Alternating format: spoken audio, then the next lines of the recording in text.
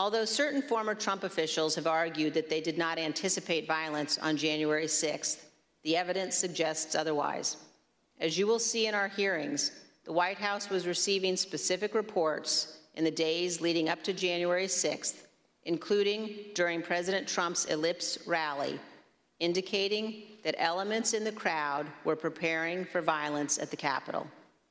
And on the evening of January 5th, the president's close advisor, Steve Bannon, said this on his podcast. All hell is going to break loose tomorrow. Just understand this. All hell is going to break loose tomorrow.